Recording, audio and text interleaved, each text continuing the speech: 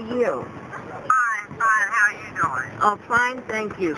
You told me one time at the Christmas party, you know, the light day. Well, I saw the article in the paper this morning about the young man, you know, trying to revive the park. And I said, I'm going down there and congratulate them, you know, at 1 o'clock. So nice. I- And I think, mm, Right. Working with that park, going to help so people. It will, it will. And we need more of this.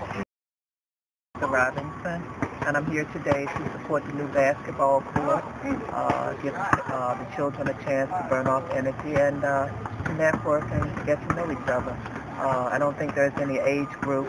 Uh, the youngest child I've seen out here is about three, and the oldest one is in their late 20s, early 30s. But I think it's great uh, what's happening here, and uh, hopefully we can see many more of these types of activities throughout the city. Thank you. What brings you out today? Saw it in the paper. Oh, you did? Yeah, I had some pictures in school. Oh, you did? Yes, I had it. My husband had it. My daughter had it. My granddaughters had it. and I had him too. It seems like Mr. Pritchett has been been active in a lot of our lives. oh yes. Yeah. And- and I'm so proud of what's going on here Yeah. today. Doesn't it make you feel good? yeah. Yeah. Well, I'm sure they're going to get that under control real quick, right? Huh? You got bullies going on over there? Huh? Yeah, it's cool. Yeah. So what y'all do to keep bullies in check? I ignore them. you ignore them? You ignore the bullies? I don't blame you, man.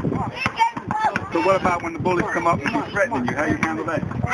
Sometimes. Okay, I mean, I, I used to tell the teacher if they put their hands on me, I have to do something you had to do something. What do you do? You have to help defend yourself. Ideally, physical confrontation doesn't resolve anything. You know, you still walk away angry at the person, and the person angry at you. You don't resolve it. Bottom line is, you know how men go off and fight wars because they disagree. Well, uh, that's just a graduated step from what you're talking about with bullying. It's the same thing. It's the same exact thing. Bottom line, it never solves anything. You have to talk to resolve it. Say say again. May I please have your name? Renee Young. Oh, how you doing, Renee? Fine. It's good to meet you, and thank you for letting me know that you check out in the upper room. Yes, I do. All right, now I'm we're here at the corner of Sixth and Pine, mm-hmm. And we're checking out these new basketball courts. What brings you out? Um, well, I heard about it and saw saw it on the newspaper today. I didn't really know anything about it, but I work here at Bancroft, so I'm coming here to support hopefully some of my kids here in the neighborhood. Mhm. It's a good cause, and I'm to get back. He's giving back to the community these new basketball courts Mhm. that they redid. Um, so just coming here to see what's going on today. Oh, all right. Thank you, and I'm glad we met. Thank you. All right. You know, and I, and I think, you know, behavior is something that is supported by social norms. If the social norm says, hey, I'm not going to support you cussing when you're around kids and what have you, then that norm has to be adjusted to. You know what I'm saying? Mhm. Just can't do that. Hey, hey, I wanted to come over and say a couple of things with uh, Brother Cooley, okay? Yeah, go ahead. All right, this is uh, Brother Cooley. Yeah, y'all read about him in the paper, and it, it was talking about his work in revitalizing his playground with these backboards. So, uh, Brother Cooley, I want to go on the record on behalf of In the Upper Room of saying thank you, man, for uh, the motivation that you had to do this. Yeah.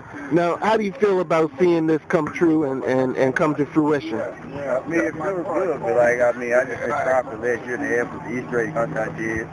Down Kirk, I've been doing down Kirkland Street Park the last two years. Book bag drive I did in September. Everything I can do to help you, I will. Toy drive I did. Wow. And a lot of Bancroft schools, like here, 800 toys, 250 kids. Yeah. Out here, so. I mean, just, see, what gets me is the city of Wilmington who doesn't uh, oh, actually does nothing for these kids. It's a shame. Yeah. And the fact is, when I was down in D.C. back in April, to find out that they give the, the city of Wilmington alone, they give the city of Wilmington alone $200,000 community money that they both disperse into the community to do stuff for the kids, and they don't use it. And when you ask them, they had no clue where it's at. It's kind of crazy that people with the money don't want to do it. They just want to scan and take it themselves and do whatever. So, like I told them, I don't want, I'm not there in Florida, I don't want their help at all. Y'all ain't been doing it, so I don't want your help. I heard that. Woo. All right, Brother Cooley. I don't want the help of them. I don't. I'd rather keep going on with the way I've been doing it and making things happen for these kids than than try to get involved. Because when they do get involved, they'll tell you, they'll try to get all the credit and they tell you how to run.